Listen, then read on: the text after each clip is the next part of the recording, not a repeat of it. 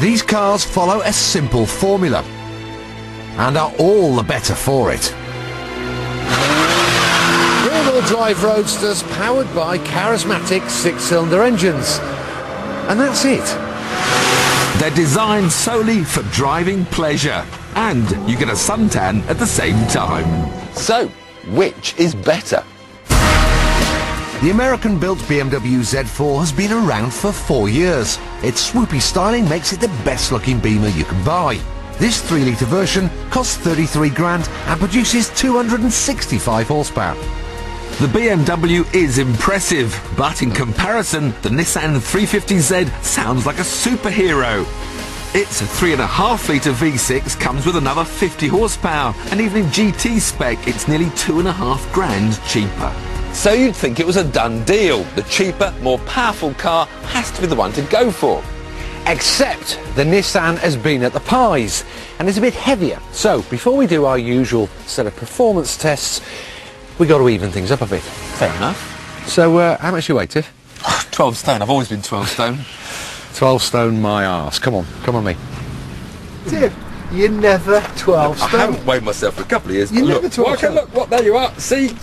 13 and 14 near is. It reads wrong, it reads wrong. You Doesn't get read wrong, man. Oh look, I've got a massive leather jacket on. Oh. 12.8, me fighting weight. Right, that means you're in the uh, the BMW, lardass. Test one. Three goes each to see which car is fastest in a straight line. We got the radar gun to read the speed, and we positioned ourselves just before the corner. Brake too early, and you won't get a very good speed. First up, the Nissan. 70 in second. 100 mile an hour already. I think that was uh, about 110 miles an hour. 103! Oh, I got 110 on here. 110? Yeah, but that's a Japanese speedometer. You may be able to hold the throttle if you're a bit braver. oh dear me. Right, he wants brave. He's going to get brave. Right, that's definitely 110. He's coming over the brow, flat out. He comes back 102, 103. Control on the brakes. 103 miles. I th- do you look you were chicken about that corner coming up? Give over, I was extremely brave. Try and make a better start this time. Right, two runs of 103. I'm going to try flat changing where I'm going to keep my foot hard down the throttle and almost just kind of kick the clutch in each gear change. It's not subtle, but it may give me an extra mile an hour. Come on, JP. Uh, it's 100 already. Here we go. 405 miles an hour. Go on, Ed. Come on, that was better. Well, you, yeah, okay, you managed to get up to 105. 105? Two miles an hour faster. Did you feel it was a better start? I tried a new technique. Oh, a technique. Here, take the gun. I, I'll, I'm sure I can still beat it. Not as easy as you think. Oh, easy peasy. Not as easy. 105 miles an hour, no problem. 60 miles an hour in second gear. 95 miles an hour. 100, oh, 105. Whoop, corner. 101. He's looking smug. Well, you try to laugh, aren't you? But obviously, that's beating you, because That was 106 miles an hour on a very reliable speedometer. Just 101. No. Yeah. Must try harder on your school report. 101.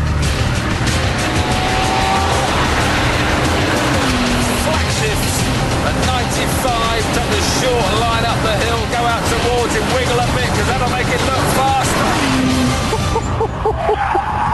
it was right on 108 on my speedometer. 103 on here. Still too shy, Tiff. I've got one more play. Yeah, you've got a special One technique to learn. One more plan.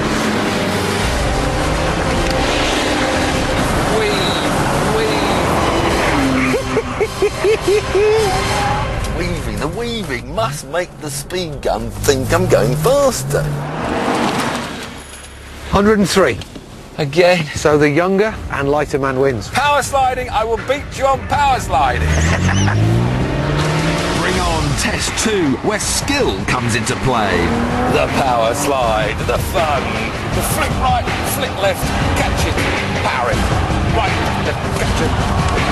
Again, we get three goes to drive as sideways as possible. The best attempt counts, and it won't be this one. Over spin.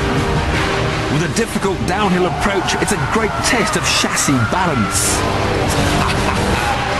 Now I'd got my eye in, I chucked everything at it. Tiff's third and final attempt was the best. I'm giving him 8 out of 10.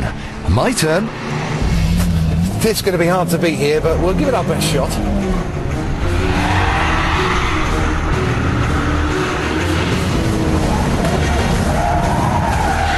I have to admit, his first attempt was a great start. I say, that was a stinker. Time to make her dance. A big flick. Probably a bit too much welly. Sorry! Sorry! Now he'd done the gardening, it was time for his last attempt. The biggest drift angle of the day has to be worth a 9. So the 350Z wins its second event. Oh, man, I love my job. But the final event is the most important. Come on. In a head-to-head, no-holds-barred race, which of these cars is the best to drive? So far, the BMW Z4 has narrowly lost out to the Nissan 350Z in our tests of straight-line speed and power sliding.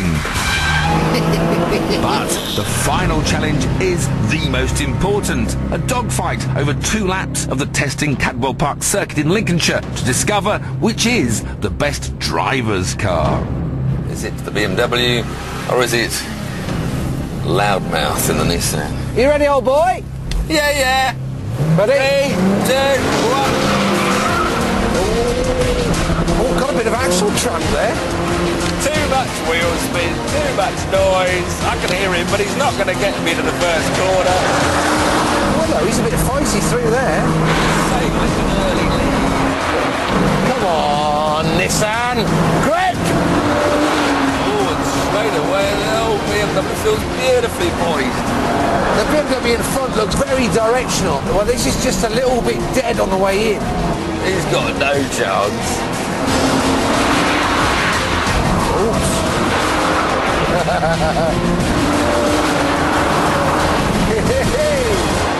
Watching through this corner, understeer always all sort of. It just doesn't look happy.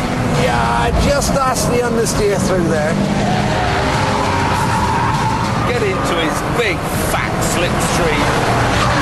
You get like the break in air and a ball. Oh, you little tinker. Got him nailed. Let's try him on the way out.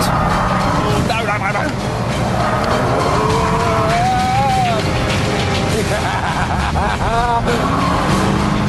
Oh, stuff it up the inside of the hairpin. Oh, he's coming down late on the brakes. Let's give him room. Let's try and get him on the way out. Whoa,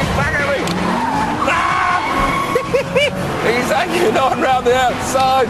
It's like, oh, he's got through. Oh, and it's the brakes. It's a great car, this, but the chassis just isn't isn't good enough, I don't think. Oh, he's down the inside. I'm going to have to blend. Oh, God, here he comes. Oh,